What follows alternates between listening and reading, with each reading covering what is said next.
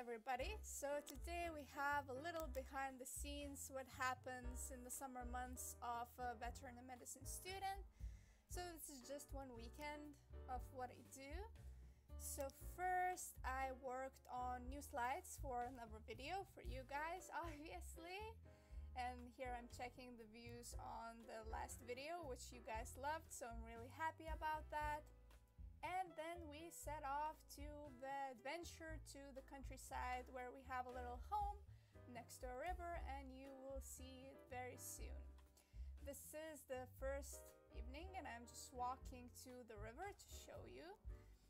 The scenery is beautiful and I'm walking barefoot. It hurts a little bit, but it was worth it because the ground was nice and cold after the very hot so it was actually really really refreshing to step out and just walk in the evening. And it's I think about like 9 o'clock.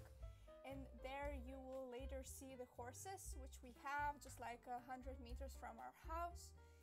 So I'm setting off to this little adventure. In Lithuania it stays um, very bright in the summer months. I think it's like 9 or 10 o'clock in the evening and it's still pretty damn light as you can see. So this is the river. Um, this is the Blessed River or Šventoji in Lithuanian. The water was kind of cold, but we have those little stools to sit on when you come to the river which we made ourselves and then we have those beautiful little steps which you can step right into the water and the water has actually risen quite a bit because there was a lot of rain uh, in the past month. And before that it was very dry and like everything was turning yellow the grass and everything. So it's actually really refreshing to see the greenery here. And I'm stepping into the water and it was kind of cold and you can see like the last step is covered in water and here are the horses which I visited and gave them some bread which they love so we have three horses uh, they are a Lithuanian breed or Žemaitukai and this is the beautiful moon. Um, it was yellow and very big. It was uh, also a full moon that night. And this is the second day. It was very hot. Oh my god, it was like 32, I think, degrees Celsius that day. And it wasn't cloudy at all.